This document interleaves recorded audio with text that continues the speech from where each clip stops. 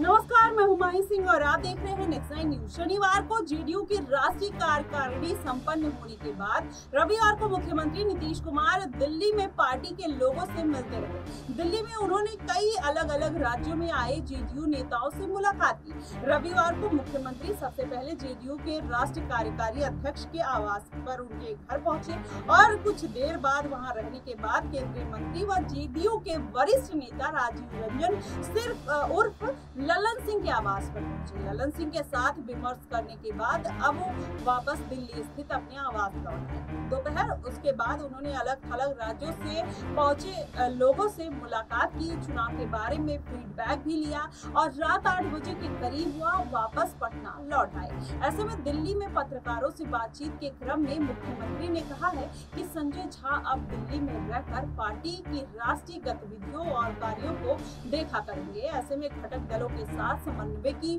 जो ज़िम्मेदारी है उसको भी संभालेंगे ऐसे में जेडीयू के राष्ट्रीय कार्यकारिणी में आ, उसके बैठक में उन्होंने स्वयं संजय झा को पार्टी का राष्ट्रीय कार्यकारी अध्यक्ष बनाए जाने का प्रस्ताव भी रखा जिससे पार्टी को सर्वसम्मत लेकिन इन सब चुनाव के बीच अगर इस तरीके की गतिविधि होना कहीं ना कहीं अब ये सवाल खड़ा कर रहा है कि अब नीतीश कुमार कुछ बड़ा फेरबदल करने वाले हैं। अगर ऐसा कुछ होता है तो ज़ाहिर तौर पर कहीं ना कहीं भारतीय जनता पार्टी को बड़ा झटका लग सकता है क्योंकि इस बीच प्रशांत किशोर ने भी भाजपा की आड़ में नीतीश कुमार पर बड़ा हमला बोला है, क्योंकि प्रशांत कुमार ने भी अपना किशोर ने भी कहा है कि विधानसभा चुनाव के बाद नीतीश कुमार किसी लायक भी नहीं बचेंगे। प्रशांत किशोर ने यह भी कहा कि इस बार अगर भाजपा लोकसभा चुनाव में बहुमत ले भी आती है तो नीतीश कुमार को कब, का कुर्सी से उतार देती और प्रशांत किशोर ने यह भी कहा है कि देखिए कैसी विडम्बना है कि नीतीश कुमार हर स्थिति में कुर्सी पर बैठे हुए हैं, लेकिन 2025 में जनता इन्हें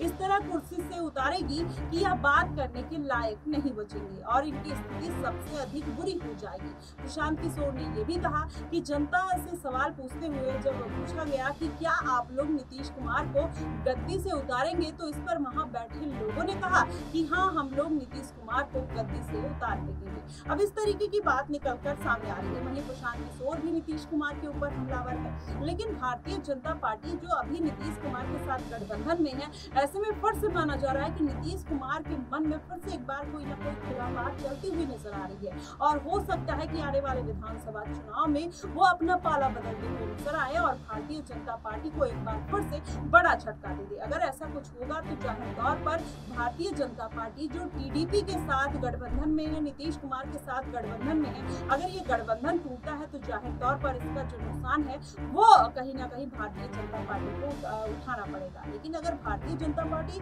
ये किसी स्ट्रेटेजी के थ्रू कर रही है, वो किसी और को बिहार की गद्दी पर बिठाना चाहती है तो ज़ाहिर तौर पर हो सकता है उनके लिए फ़ायदेमंद